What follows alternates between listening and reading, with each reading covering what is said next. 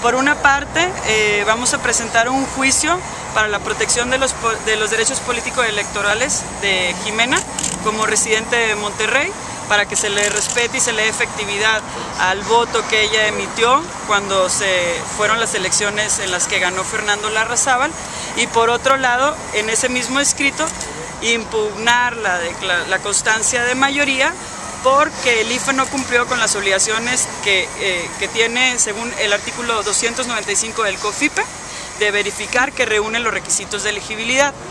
Por otro lado tenemos a otro ciudadano eh, residente y que también acudió ahora a estas elecciones del Distrito 10 que va a interponer un recurso de inconformidad en contra de también la constancia de mayoría por no reunir los requisitos de elegibilidad. Si bien eh, los dos recursos ante el IFE todavía no se le reconoce al ciudadano interés jurídico para solicitarle lo que nosotros estamos eh, alegando, lo que le estamos pidiendo es que cumplan con la obligación de respetar los derechos humanos de acuerdo a la reforma constitucional eh, en materia de derechos humanos del 2010 y por lo tanto ejerzan eh, obligatoriamente control de convencionalidad, desapliquen todos los artículos de la ley electoral que no nos permiten entrada al juicio y en su lugar apliquen el artículo 95 de la Convención Americana que nos garantiza a todos los ciudadanos el derecho a un recurso efectivo.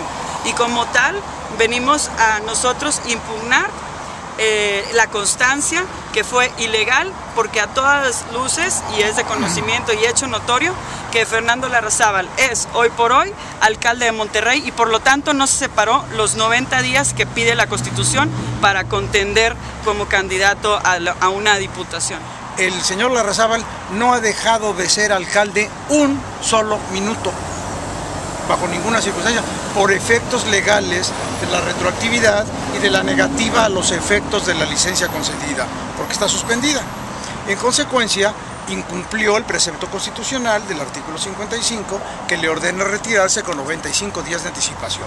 En consecuencia, el tribunal, perdón, el IFE, le debió haber negado la constancia de mayoría, porque dice la ley electoral que una vez que se cuentan los votos y se decide quién tuvo más votos, hay que darle la constancia de que obtuvo mayoría. Pero para pedir la constancia de mayoría, tengo que revisar que sea mexicano, que tenga la edad, que esté en el domicilio. Importante, que haya cumplido con los preceptos constitucionales, es decir, que se haya retirado con 90 días de anticipación. Y como eso no ocurrió, el IFE les debió haber negado, no debió haberle expedido la constancia de mayoría. Bien, si se dan cuenta, aquí hay una trampa muy amañada. El señor Larrazábal insiste en que discutamos la controversia, en que manejemos el conflicto legal en el IFE y en el TRIFE, porque como no son organismos ciudadanizados, autónomos e independientes, aquí se sienten muy cómodos Aquí las influencias de sus partidos, aquí las influencias de los políticos pesan más que en el Tribunal Judicial. Y nosotros estamos apostados al Poder Judicial porque la resolución administrativa que fue el otorgamiento de la licencia, le da competencia al tribunal, o sea, a la Suprema Corte de Justicia de la Nación, a los tribunales del Poder Judicial de la Federación. Nosotros estamos ahí porque creemos que es más autonomía y porque además es un acto administrativo. Pero fíjense bien lo que está ocurriendo. Si este fuera el IFE, un instrumento ciudadanizado y autónomo. Y el TRIFE, si viera los intereses de los ciudadanos, los Larrazábals y las Ibones tendrían más miedo de venir aquí que ir ante las autoridades judiciales.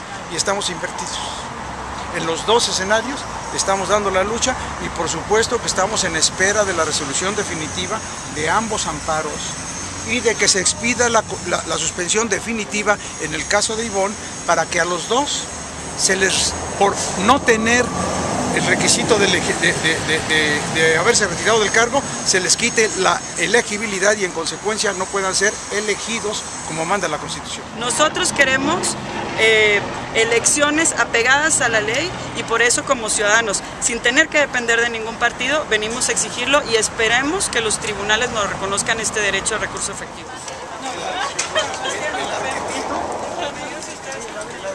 Los dos abogados. Abogados. ¿Y, y los guardias?